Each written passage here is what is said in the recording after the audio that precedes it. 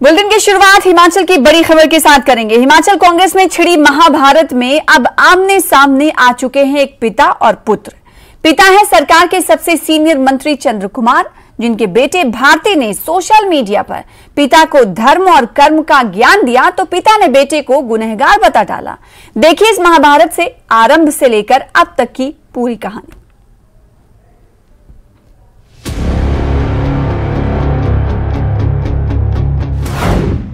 हिमाचल प्रदेश में महाभारत का नया अध्याय।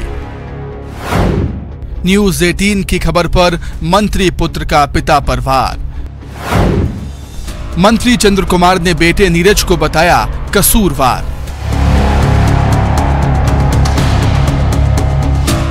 कांग्रेस विधायक राजेंद्र राणा ने 9 अगस्त को फेसबुक पर इस पोस्ट के साथ जिस महाभारत का शंखनाद किया उस पर अब मंत्री चंद्र कुमार और उनके बेटे नीरज भारती में ही धर्म युद्ध छिड़ गया है। बेटे ने पिता को सार्वजनिक तौर पर ज्ञान दिया अपने पराय का सच समझाने लगा कर्म पथ का आईना दिखाने लगा तो पिता ने बेटे को गुनहगार बता डाला। सर बात करेंगे फिर आप है समझाएँगे थोड़ा भी बेटे का कसूर है। जब बाप का जूता बेटे को आना शुरू हुआ तो उसको ज़्यादा एडवाइस नहीं करते। पाँच पांडवों की कहानी से हिमाचल कांग्रेस में छिड़ी महाभारत के कुल चार पात्र अभी रणभेरी बजाते दिख रहे हैं। पहले उन पात्रों का परिचय प्राप्त कीजिए। राजेंद्र राणा, विधायक, सुजानपुर। सुधीर शर्मा, विधायक, धर्मशाला। चंद्र कुमार कृषि मंत्री। और नीरज भारती, पूर्व विधायक और कृषि मंत्री चंद्र कुमार के बेटे। अब शुरू करते हैं कांग्रेस के महाभारत का पहला अध्याय। पहला अध्याय। सुजानपुर से विधायक राजेंद्र राणा के इस फेसबुक पोस्ट से आरंभ होता है। 9 अगस्त को अपने पोस्ट में राणा ने लिखा है, जो विवादों से दूर रहते हैं, वही दिलों पर राज करते हैं। जो विवादों में उलझ जाते हैं वो अक्सर दिलों से भी उतर जाते हैं।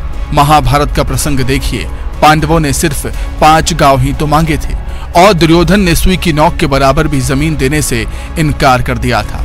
एक जिद ने महाभारत रच दिया। सुकून भरी ज़िंदगी के लिए विवादों से दूरी है बेहद ज़रूरी। राजेंद्र राणा की इस पोस्ट के बाद सियासी गलियारों में अटकलों का बाज़ार गर्म हो गया है।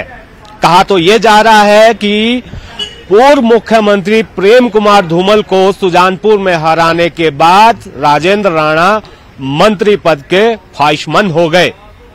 अभी जो तीन आ, सीटें खाली है मंत्रिमंडल में वो चाह रहे हैं कि उनमें से एक पद उन्हें दिया जाए।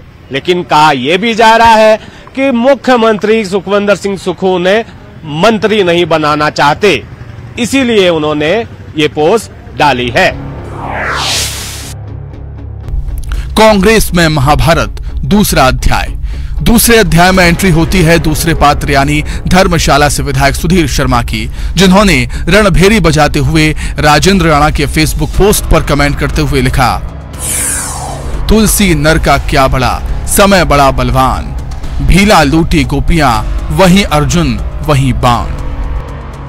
पूर्व मंत्री पंडित संतराम के बेटे सुधीर शर्मा चौथी बार विधायक बनकर विधानसभा पहुँचे हैं। कांग्रेस के सत्ता में आने के बाद उन्हें मंत्री पद का प्रबल दावेदार माना जा रहा है। माना यह भी जा रहा है कि राजेंद्र राणा की पोस्ट पर अपनी नाराज़गी ज़ाहिर करने के लिए ही सुधीर शर्मा ने ये कमेंट किया है कि समय बड़ा बलबान होता है। कांग्रेस में महाभारत, तीसरा अध्याय। राजेंद्र राणा की पोस्ट पर सुधीर शर्मा के कमेंट से कांग्रेस में गुटबाजी और नाराज़गी के सवाल उठने लगे हैं। विपक्ष हमलावर होने लगा है तो सीएम और पार्टी की तरफ़ से मोर्चा संभाला सबसे वरिष्ठ मंत्री चंद्र कुमार ने। जिन्होंने नाराज़गी जताने वाले नेताओं पर बरसते हुए कहा कि वो क्या बोलेंगे, मैंने उनके बाप दादाओं के साथ काम किया है। मैं उस वक्त राजनीति में आया था, जब तक ये पैदा भी नहीं हुए थे। मैं इनके बाप के साथ काम किया है, मैं इनके दादों के साथ काम किया है। लेकिन जिस श्लोक का उसने वर्णन किया, उसको भी मैं बता देता हूँ। वक्त बहुत बलवान है, नहीं बलवान इंसान।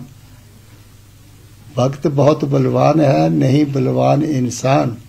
हीरे लूटी गोपियाँ, वही अर्जुन को ही बान कांग्रेस में महाभारत, चौथा अध्याय। चंद्र कुमार ने खुद को नाराज़ नेताओं के बाप दादा के साथ काम करने वाला नेता बताया। तो उन्हीं के बेटे नीरज भारती अपने पिता चंद्र कुमार को नेतागिरी की नैतिकता का तकाजा समझाने उतर गए। दो बार विधायक और एक बार सीपीएस रहे नीरज भारती ने। न्यूज़ 18 की खबर को टैग करते हुए फेसबुक पर लिखा। चौधरी चंद्र कुमार जी अपनी ही कांग्रेस पार्टी के चुने हुए प्रतिनिधियों पर तंज कसने से अच्छा है कि आप अपने ज़िले पर ध्यान दें। आप सरकार में हिमाचल प्रदेश के सबसे बड़े ज़िले कांगड़ा के एकमात्र मंत्री हैं। इसलिए अपनी पार्टी के चुने हुए विधायकों पर टिप्पणी करने के बजाय इस ज़िले के अधिकारियों और कर्मचारियों के बारे में सोचें, जो आज से आठ महीने पहले भी वही थे और आज भी वही हैं। ज़िले के कांग्रेस के कार्यकर्ताओं के बारे में सोचें, जिन्हें ये अधिकारी मुँह नहीं लगा रहे हैं। उस विधायक पर भी नज़र रखें जो आपका और मुख्यमंत्री सुक्खू जी का खास होने का ढोंग रचकर इन अधिकारियों कर्मचारियों के साथ साठ गांठ बनाकर बैठा है। अब जानिए, अपने पिता चंद्र कुमार से नीरज भारती की नाराज़गी की वजह। दरअसल ये पूरा का पूरा वाकयात जो है, ये एक तबादले से जुड़ा हुआ बताया जा रहा है। सूत्रों के हवाले से जो हमें जानकारी मिली है, उसके मुताबिक ज्वाली विधानसभा क्षेत्र के भाजपा के पूर्व विधायक अर्जुन सिंह की जो शिक्षक धर्मपत्नी है, उनका तबादला चंबा के एक दुर्गम क्षेत्र में हुआ था। लेकिन अर्जुन सिंह ने अपने रसूख के बलबूते उस तबादले को रद्द करवा दिया है। जानकारी यहाँ तक भी मिली है कि जो तबादला था, ये कहीं ना कहीं पूर्व सीपीएस नीरज भारती के इशारों पर हुआ था। बावजूद इसके, ये तबादला रद्द हो जाना अपने आप में ही बहुत बड़े सवाल पैदा कर रहा है और उसी तबादले को लेकर जो है पूर्व सीपीएस नीरज भारती जो है, वो आक्रोशित हो गए हैं। वहीं बेटे नीरज भारती के बागी तेवर पर जब पिता चंद्र कुमार से सवाल किया गया तो उन्होंने अपने बेटे को कसूरवार बता डाला। सर बात करेंगे फिर आप समझाएँगे थोड़ा गिले शिकवे ना ना ना बस बेटे का कसूर है। जब गाँव का जूता बेटे को आना शुरू हुए तो उसको ज़्यादा एडवाइस नहीं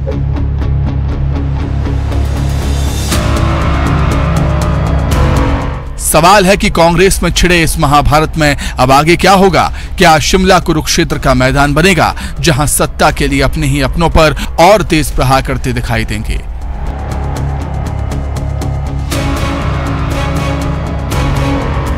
कांगड़ से विचित्र शर्मा और शिमला से राजेंद्र शर्मा के साथ रणवीर सिंह, न्यूज़ 18 जम्मू कठुआ की राजबाग पुलिस को बड़ी कामयाबी मिली है। राजबाग पुलिस ने तीन चोरों को गिरफ़्तार किया है। चोरों के कब्जे से 21 मोटरसाइकिल और 10 मोबाइल जब्त किया गया है, जिसकी जानकारी देते हुए एसएसपी कठुआ ने बताया कि लोगों की शिकायत के बाद पुलिस ने कार्रवाई करते हुए बॉर्डर इलाके से तीन चोरों को दबोचा है, जिनसे पूछताछ जारी है। हमें जो भी इंफॉर्मेशन आ रही थी तो और जो खानपुर इलाके में फिर हमने तीन जो हैं, ये चोर पकड़े गए हैं जिसमें जो मेन मास्टरमाइंड था, वो विशाल कुमार था।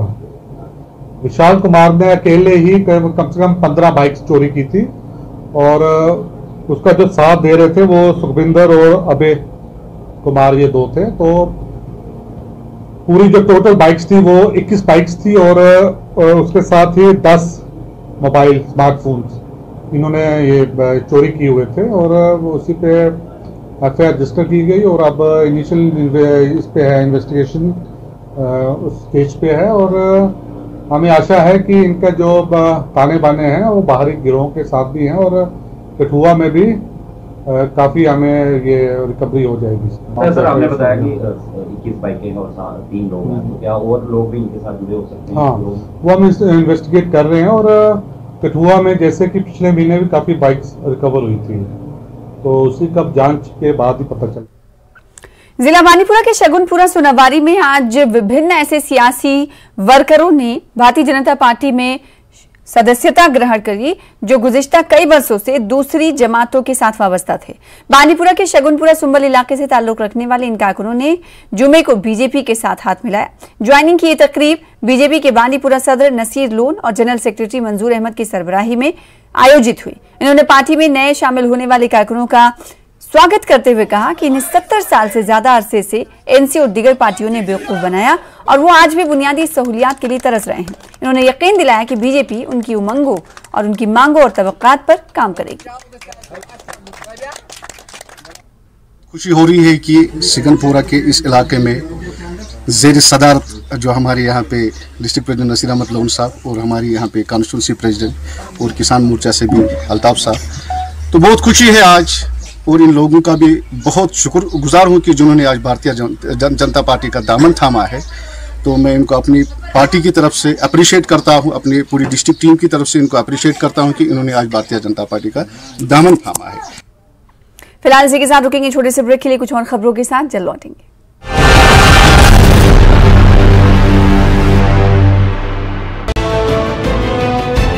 सतपाल सिंह गिल ने की जबकि विधायक सतपाल सिंह सत्ती बतौर मुख्य अतिथि बैठक में शामिल हुए।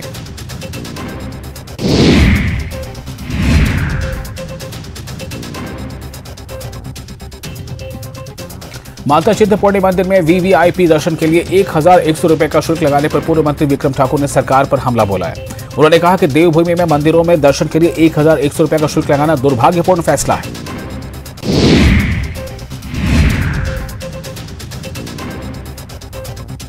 राज्यपाल श्री प्रताप शुक्ल ने चंडीगढ़ शिमला एनएच पाँच पर चक्की मोड़ के पास बीते दिनों बारिश से हुए नुकसान और क्षतिग्रस्त हुए एनएच का जायजा लिया। इस दौरान डीसी सोलन, मनमोहन शर्मा और अन्य विभागों के अधिकारी मौके पर मौजूद रहे।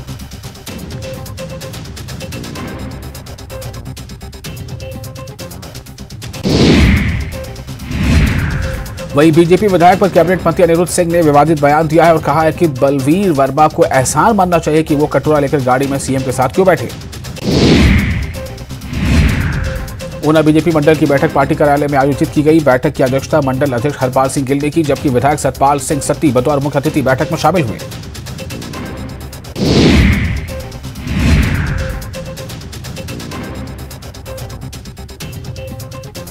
माता चिंतपूर्णी मंदिर में वीवीआईपी दर्शन के लिए एक हज़ार एक सौ रुपए का शुल्क लगाने पर पूर्व मंत्री विक्रम ठाकुर ने सरकार पर हमला बोला है। उन्होंने कहा कि देवभूमि में मंदिरों में दर्शन के लिए एक हज़ार एक सौ रुपए का शुल्क लगाना दुर्भाग्यपूर्ण फैसला है।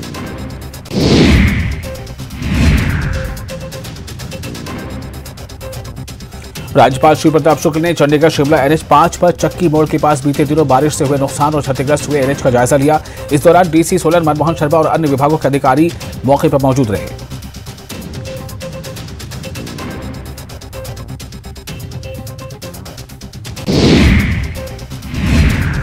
वहीं बीजेपी विधायक पर कैबिनेट मंत्री अनिरुद्ध सिंह ने विवादित बयान दिया है और कहा है कि बलवीर वर्मा को एहसान मानना चाहिए कि वो कटोरा लेकर गाड़ी में सीएम के साथ क्यों बैठे।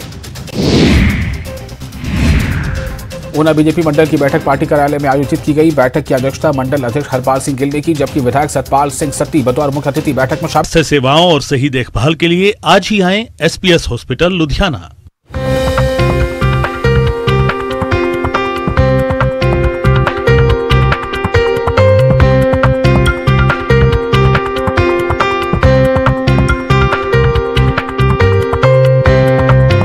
Headlines presented by विश्व स्तरीय स्वास्थ्य सेवाओं और सही देखभाल के लिए आज ही आए एसपीएस हॉस्पिटल लुधियाना।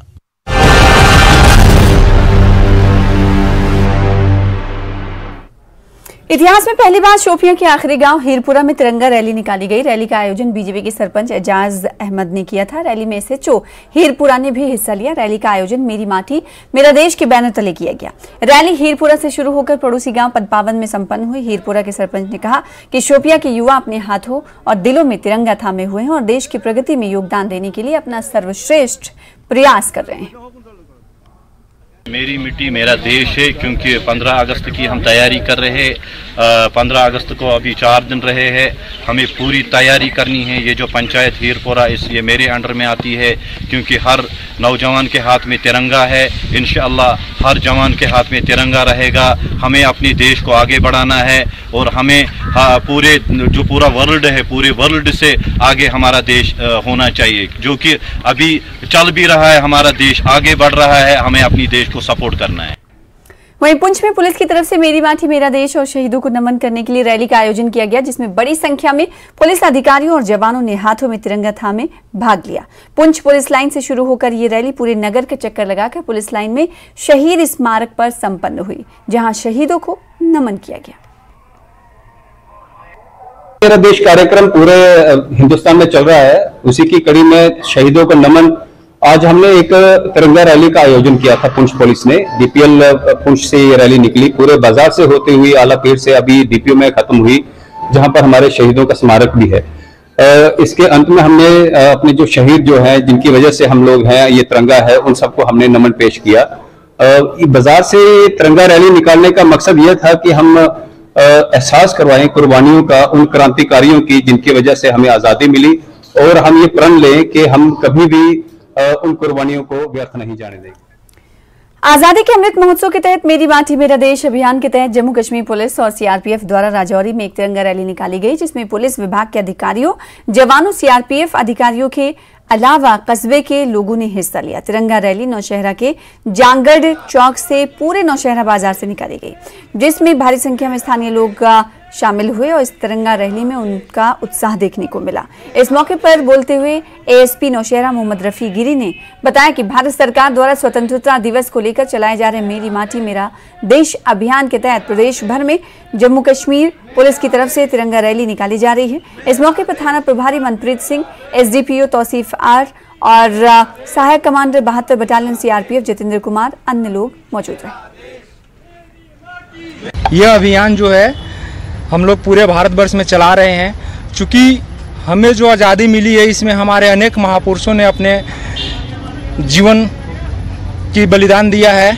काफ़ी लोगों ने काफ़ी संघर्ष किया, तब जाके हमें आज़ादी आज़ादी मिली।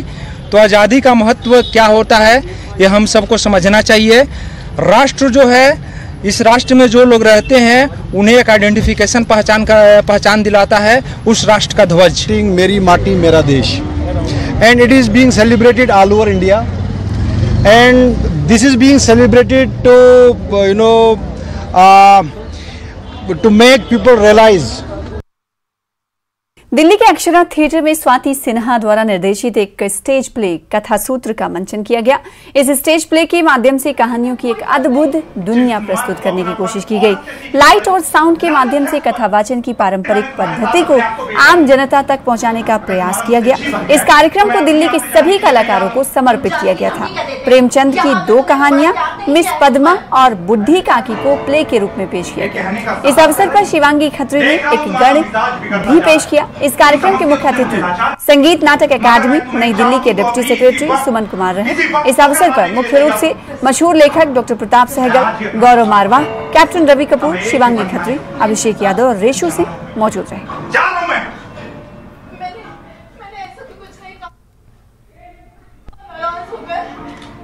तो केवल तुमसे पूछ रही थी कि तुम कहाँ थे? क्या मुझे इतना अधिकार मिले चाहते? तुम्हारी इच्छा के विरुद्ध कभी कोई काम नहीं करती। और तुम मुझे बार बार पर रहते हो। तुम्हें मुझ पर जरा सी भी दया नहीं आती। मुझे भी तो तुमसे कुछ सहानुभूति मिलनी चाहिए, प्रसाद। मैं तुम्हारे लिए सब कुछ करने को तैयार हूँ। और आज जो मेरी हालत है तो तुम मुझसे आँखें फेर रहे हो, प्रसाद। मुझे माफ़ कर दो मुझे माफ़ कर दो पर मुझे छोड़ के मत जाओ। स्वतंत्रता दिवस से पहले न्यायमूर्ति ताशी रबस्तान और डीएलएससी के अध्यक्ष हक नवाज़ जरगर, प्रधान जिला एवं सत्र न्यायाधीश ने जिला जेल उधमपुर का दौरा किया। अजय शर्मा, सब जज और सचिव डीएलएसए उधमपुर, अधीक्षक जिला जेल, अतिरिक्त एसपी उधमपुर और अन्य जेल कर्मचारियों ने उनका स्वागत किया। आगमन पर न्यायमूर्ति ताशी को औपचारिक का सम्मान दिया गया, जिसके बाद उन्होंने ई मुलाकात केंद्र का दौरा किया और वीडियो कॉन्फ्रेंस प्रणाली का भी निरीक्षण किया। न्यायमूर्ति ताशी को सूचित किया गया कि जब भी कोई जेल कैदी या उसके परिवार का सदस्य ई मुलाकात के लिए जेल अधिकारियों से संपर्क करता है तो इसकी व्यवस्था की जाती है। न्यायमूर्ति ताशी रबस्तान ने बाद में कैदियों से बातचीत की और उन्हें प्रदान की जाने वाली चिकित्सा और अन्य सुविधाओं के बारे में जानकारी ली। जैसा कि आप जानते हैं कि आने वाले 15 अगस्त को हम अपना इंडिपेंडेंस डे सेलिब्रेट कर रहे हैं। उसके उपलक्ष्य में आज ऑनरेबल जस्टिस ताशिर अबस्तान जो कि एग्जीक्यूटिव चेयरमैन है लीगल सर्विस अथॉरिटी के और उनके साथ हमारे बाकी जज साहिबान। आज हमने डिस्ट्रिक्ट जेल उधमपुर का विज़िट किया है, जहाँ पे, यहाँ पे हमारे हिमाचल में तबाही का नया सिलसिला शुरू हो चुका है। बीती रात से शुरू हुई बारिश के बाद जगह जगह से पहाड़ टूटने की खबरें आ रही हैं। कई जिलों में भूस्खलन के चलते कई रास्ते बंद हो गए हैं।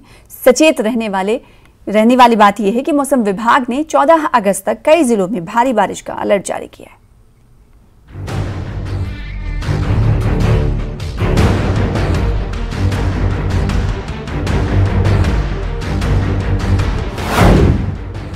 हिमाचल में टूटते पहाड़ों से सावधान। चंबा से सोलन तक बरस रही चट्टान।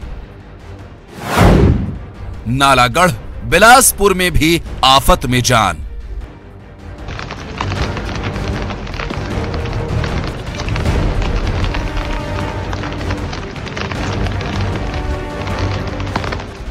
ये हिमाचल में खतरे और तबाही की नई तस्वीरें हैं। गुरुवार रात से शुरू हुई बारिश के बाद कहीं बड़े बड़े चट्टान पहाड़ों से खिसक कर सड़कों पर आ गिरे तो कहीं सड़कों से गुजर रही गाड़ियों पर चट्टानों की बारिश होने लगी।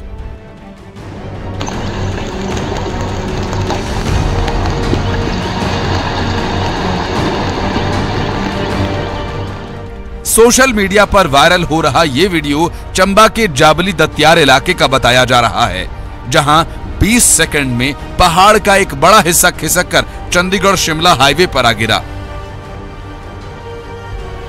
इस हाईवे पर पहले से ही दो जगह भूस्खलन के चलते यातायात बंद था। और अब टूटी इस नई मुसीबत से हाईवे को बहाल करने में और ज़्यादा वक्त लगेगा।